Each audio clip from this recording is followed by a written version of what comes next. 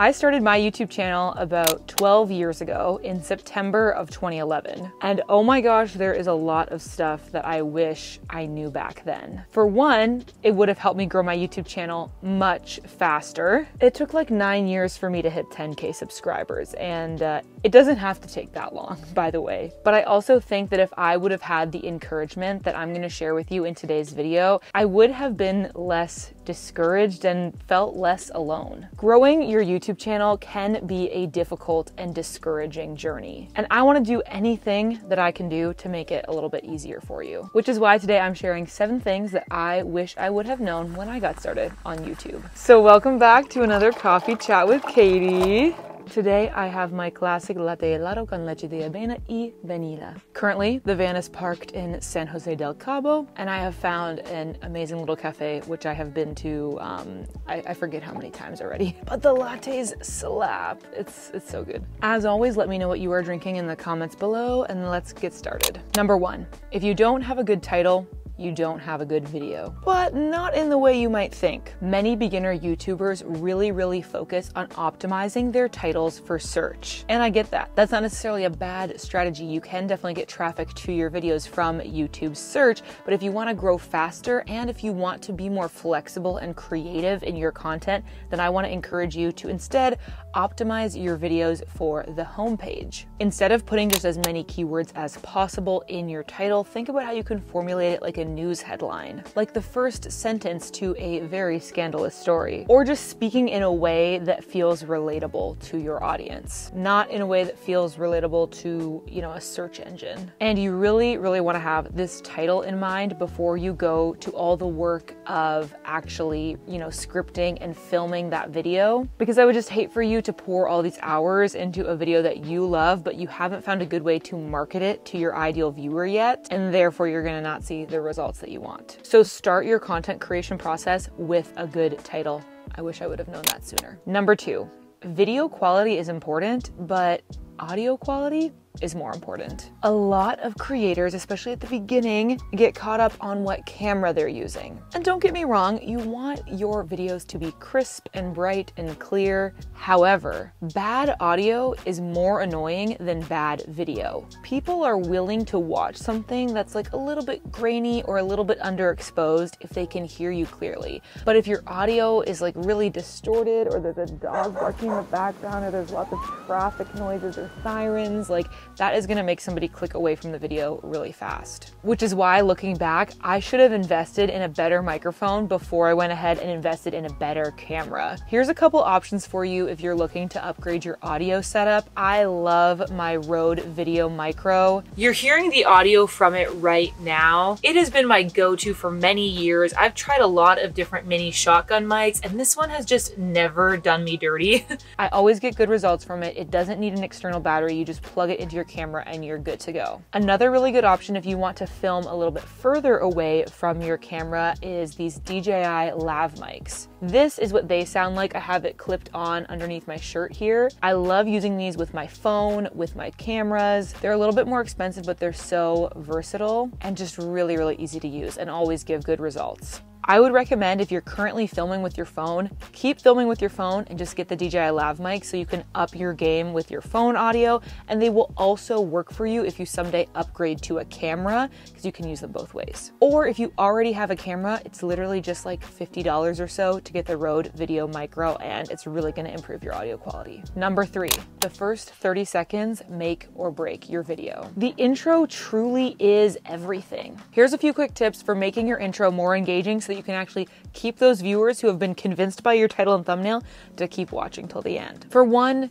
keep it short. Get to the point immediately and reaffirm what your title and thumbnail promised in your intro. I know, especially when you're getting started, it feels like you need to sit down and be like, oh, hey, hi, how's it going? Isn't the weather beautiful today? Blah, blah, blah. That is gonna be a surefire way to get people to click away from your video. It's okay to include the pleasantries, it's okay to infuse your personality, but I recommend doing that after your 30 second intro, kind of like how I, you know, talk about the coffee chat thing once I've already got you hooked about the subject matter of the video. A really, really great method for retention from your intro into the rest of the video is to establish a question. Bring up something that your viewer is going to need to keep watching in order to get the answer. In this video, I use the classic format, seven things I wish I knew before I started on YouTube. I bring that up in the intro, and obviously, you know, you're going to need to watch to the end to hear all seven. But in more narrative style videos, it could be something like, hey, we're in Venice, but for only 24 hours, can we see all the major sites in just one day? Or maybe we're visiting three epic castles in Slovenia and we're going to rate them all and figure out which one is the best and where you should visit. I actually have a YouTube script template. It's included in my starter pack for content creators that has all my best Notion templates, all that kind of thing. It's linked in the description if you want to check it out. Number four, not all metrics are created equal. YouTube Studio can be so overwhelming when you first get started, so it's important that you understand what metrics you actually need to be able to craft a more effective YouTube strategy. It can be easy to get overwhelmed with all of the various metrics for your YouTube videos, but ultimately there are really two that you need to be concerned about AVD and CTR. CTR stands for click through rate and it represents the number of people who actually clicked on your thumbnail after seeing it in search results, the homepage, or in like the sidebar of suggested videos. This is a good proxy to the YouTube algorithm of how intriguing or interesting your video is, how likely it is to get people to watch. AVD stands for average view duration and it represents the number of those people who clicked, like how long they watched your video for. And this is basically a proxy to the YouTube algorithm of how engaging your video actually is. Together, these tell the algorithm how good you are at getting people to click and how good you are at getting people to stick around on the platform. My personal favorite way to keep track of all these metrics is with Dash Hudson, the sponsor of today's video. I personally think Dash Hudson is the perfect tool for content creators and social media managers to keep track of their metrics across platforms in a really highly visual and user-friendly way. Plus, Plus, recently Dash Hudson released this really cool new feature called Vision AI. This allows you to upload pieces of content that you're thinking about posting to social, and Vision will actually give you a prediction of how well it's likely to perform based on your past metrics. This is honestly like the backbone of any successful content creator strategy, understanding how your past content performance really should guide your future content strategy. Envision helps you craft that strategy with AI. Major brands like Cotton On and Summer Fridays use Dash Hudson's Vision AI tool to help craft their content strategy. And really, I think Dash Hudson can be an effective tool for teams of all sizes to craft a really intentional and data backed social strategy. If you want to try it out for yourself, you can grab a free trial of Dash Hudson at the link in the description. Number five, it's better to leave them wanting more. So, speaking of metrics, we know that increasing our average view duration or AVD is the best way to actually get your videos recommended in the algorithm and help to grow your channel. So, how do you do that exactly?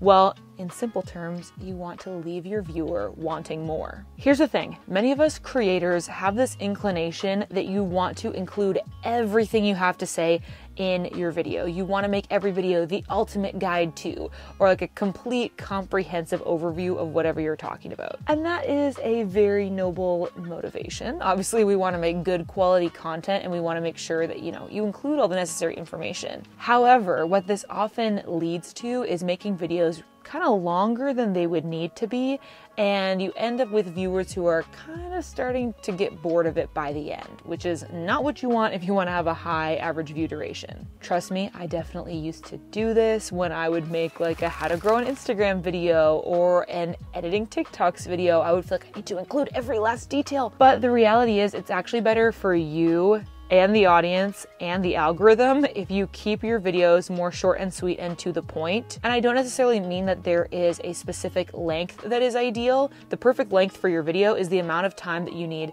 to provide just enough information and no more. So it's really going to depend on the topic and the story that you're telling. But think about it this way if you want your viewer to kind of binge your channel or keep watching at the end of your video, the best way to do that is to tell them just enough and then to promise the rest of the story or the rest of the information they need is in the next video and go click on that next. That's gonna help get your viewer to the end of this video, but also it's gonna get them onto your next video. So it's not only gonna increase your average view duration, but it's also gonna increase your watch session, the amount of time that you influence somebody to stay watching several videos in a string on YouTube. That's gonna lead your viewers to actually binge your channel and eventually become subscribers. I used to feel like every YouTube video I made had to be the absolute A to Z on whatever topic I was discussing, but I've since realized it's actually much more effective to just share what you need to share and then make another video about the next topic. Number six, don't plan to pivot. Look, here's the thing a lot of creators, when they get started,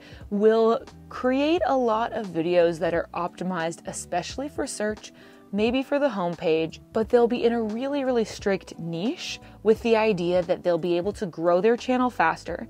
And once they've grown their channel to a certain extent, then they'll be able to branch out and talk about other topics that they really want to be discussing. The truth is, this will help you grow faster than trying to grow a variety channel from scratch. But what it will result in is an audience that doesn't end up super engaged in the content that you really want to be talking about. So, my suggestion is simply this don't grow your channel based off content content that you don't see yourself creating in the long term just because you think that type of content is going to help you grow faster. The truth is, it might. Niching down might help you grow faster, but it might help you grow an audience that you don't really want to have because you want to have an audience that's interested in, you know, what you really want to be creating. So don't niche down into a really educational channel if your goal is to eventually do lifestyle. Try to incorporate lifestyle, but do it in a way that is optimized for the homepage, potentially a little bit optimized for search as well to help you grow at the beginning. And I know niching down like that can be really tempting, especially when you're finding it difficult to grow, because it does have this promise of faster growth and search engine optimization, but you really don't want to pigeonhole yourself and build for yourself a very transactional audience when what you really want is a relational audience. From the start, find a healthy balance of what you love to create and what the algorithm loves, and you will have a good strategy for growth, but also sustainability so that you don't get burnt out and you don't end up in a niche that you hate. Number seven, it takes time, but it is worth it. Growing a YouTube channel is the opposite of a get rich quick scheme. It's more like a work hard, doubt yourself, feel discouraged, but feel creative and get rich really slow scheme. But I love it. It's the most fun job in the world, in my opinion, and I feel so grateful that I got to fulfill 13 year old Katie's dream of being a full time YouTuber. I honestly have to pinch myself like all the time because I can't believe that I get to do this for my job and I get to inspire other people who also are passionate about creating. I wholeheartedly believe that this career is worth it and I'm so grateful to my past self for not giving up even when honestly, it was the most logical decision to give up. I had been making videos consistently for like eight or nine years and I hadn't seen results yet. Maybe I'm just a slow learner, maybe I'm just a late bloomer, but I'm so glad that I kept with it and I kept trying. And I want the same for you. So even though sometimes it feels impossible, please stick with it because trust me, your future self will thank you. So I hope you found this video encouraging on your YouTube journey. If you want some more tips specifically about my six sixth point about like how to effectively pivot your channel. Like maybe you have grown in a niche and now you're like, shoot, I want to do something else. What do I do? I talk about that quite in depth in this video. It's something I've experienced myself. It's something I've observed in many, many YouTubers. And I think that this method for actually effectively pivoting your channel and bringing your audience along with you, I think more people should know about this. So you can check that out. And also, if you want my YouTube script template and all of my other Notion templates and tools and resources to help you as a content creator, that content creator starter kit is linked below. As always, I hope that you are having adventures and following your dreams, and I'll catch you in the next video. Bye.